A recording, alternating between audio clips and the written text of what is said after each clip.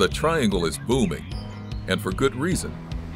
Our region is among the best places in the country to call home. With our top tier universities, hospitals, and growing employment sectors, it's easy to see why.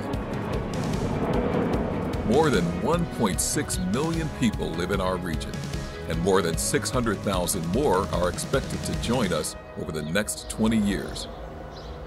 More neighbors mean more cars and more traffic congestion.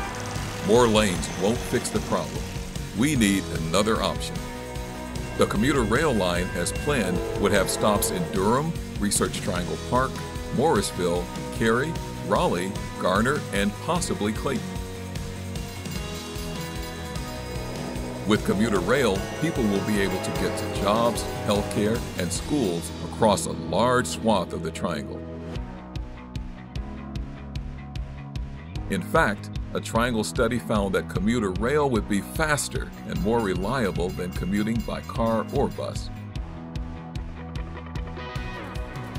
The commuter rail would follow along the existing North Carolina Railroad Company corridor, allowing us to build our transportation future upon an investment that has already been made.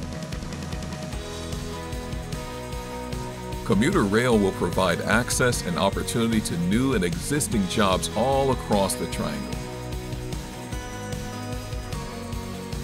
More than 7,500 people are expected to take the commuter rail each day.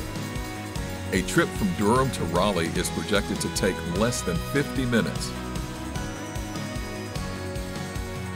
That means less time stuck in traffic, fewer greenhouse emissions, and a boost to the quality of life in our region.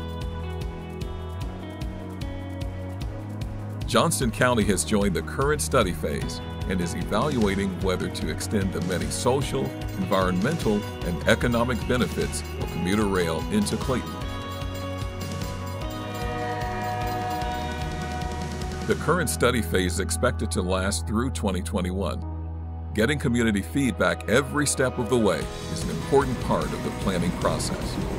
Find out more about the project and how you can have your voice heard at readyforrailnc.com.